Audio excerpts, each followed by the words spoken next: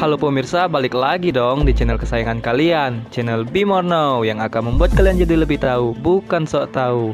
Bersama saya Randala yang akan menemani kalian dan dalam video kali ini kita akan membahas hewan apa aja sih yang hidup di gurun pasir.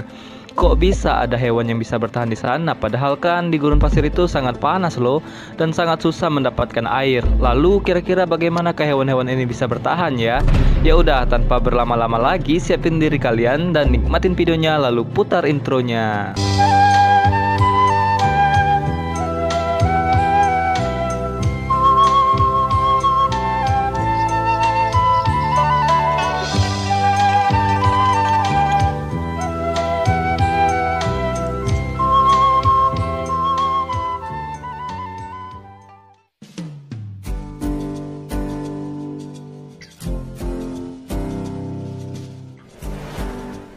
Nomor 1.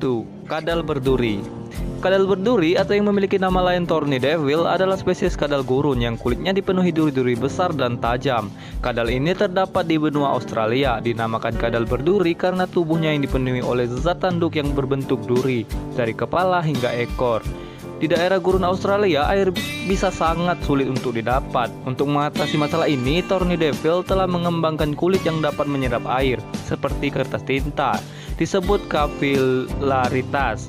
Sisik pada tubuhnya yang terstruktur membuat mengumpulkan embun dan menyalurkan ke sudut mulut, sehingga kadal dapat meminumnya.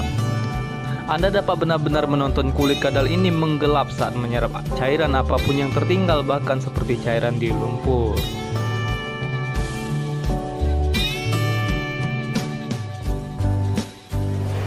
Nomor 2 Unta kalau bicara soal hewan yang hidup di gurun tidak lengkap rasanya kalau tidak menyebutkan unta. Dilansir dari Wikipedia, unta adalah dua spesies hewan berkuku genap dari genus Camelus yang hidup ditemukan di wilayah kering dan gurun Asia dan Afrika Utara. Dan seperti kita ketahui, unta juga banyak ditemukan di daerah Arab. Unta hidup di padang pasir yang memiliki range temperatur udara yang mampu membunuh mayoritas makhluk hidup. Selain itu, mereka mampu untuk tidak makan dan tidak minum selama beberapa hari. Ada banyak hal yang membuat mereka mampu beradaptasi. Salah satunya adalah punuknya. Banyak orang mengira punuknya menyimpan air, tetapi sebenarnya tidak. Punuk unta menyimpan lemak khusus yang pada suatu saat bisa dirubah menjadi air dengan bantuan eko oksigen hasil respirasi. Satu gram lemak yang ada pada punuk unta bisa diubah menjadi satu gram air. Kemampuan adaptasi lainnya yang luar biasa adalah sistem respirasinya meninggalkan sedikit sekali jejak uap air. Uap air yang keluar dari paru-paru diserap kembali oleh tubuhnya melalui sel khusus yang terdapat di hidung bagian dalam, membentuk kristal dan suatu saat dapat diambil. Hal itulah yang membuat unta dapat bertahan hidup di gurun pasir, guys.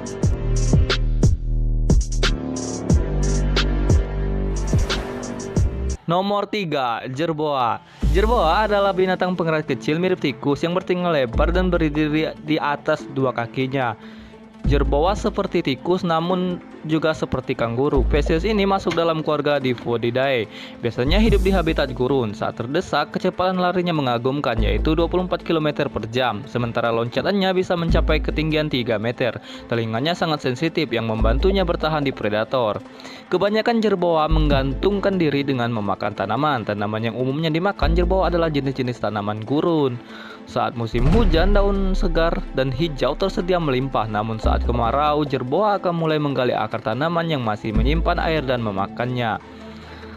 Jerba kuping panjang di Mongolia menggantungkan 95% makanannya kepada serangga. Jerboa memiliki pendengaran yang sangat sensitif untuk menemukan serangga-serangga ini. Bahkan serangga yang masih terbang. Jerboa tidak minum air sama sekali, mereka mendapatkan cairan dari makanan. Di laboratorium, jerboa bahkan bisa bertahan hidup hingga tiga tahun hanya dengan memakan bijian-bijian kering. Kapan pun kemungkinan mereka akan memakan dedaunan dan pucuk yang memiliki kelembapan. Dengan perilaku seperti ini mampu membuat jerboa bisa bertahan hidup di gurun.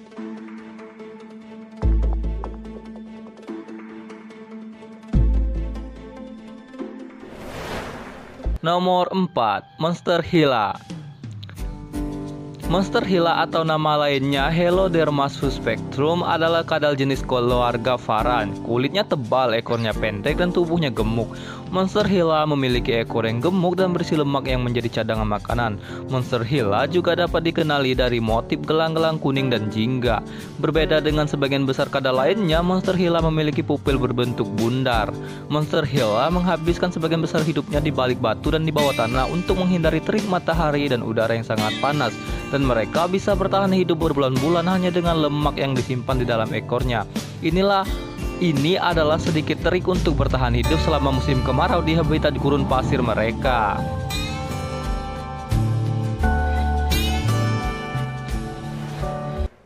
Nomor 5, Viper bertanduk. Viper bertanduk yang biasa hidup di gurun pasir ini memiliki nama asli Cerastes cerastes adalah jenis ular berbisa asli padang pasir Afrika Utara dan bagian dari semenanjung Arab dan Levant. Seringkali dengan mudah dikenali dengan adanya sepasang tanduk supraokral. Biasanya Viper ini berburu pada malam hari dan pada siang hari Viper mengubur dirinya di dalam pasir. Racun Viper ini sangat berbisa karena dapat merusak jaringan sel darah merah dan bersifat hemotoksik. Hewan ini sangat merupakan hewan ini sekarang merupakan spesies yang terancam punah karena faktor lingkungan. Tidak ada yang benar-benar tahu mengapa mereka memiliki tanduk di atas mata mereka. Ada yang mengatakan tanduk tersebut untuk perlindungan bagi matanya terhadap pasir. Kamuflase atau navigasi melalui pasir.